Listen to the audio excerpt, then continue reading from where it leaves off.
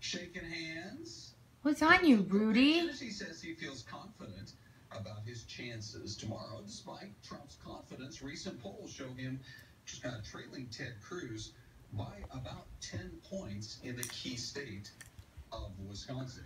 Now, for the Democrats, nearly 200 Bernie Sanders supporters gathered outside CNN's Where's the lizard? in Los Angeles. The group protesting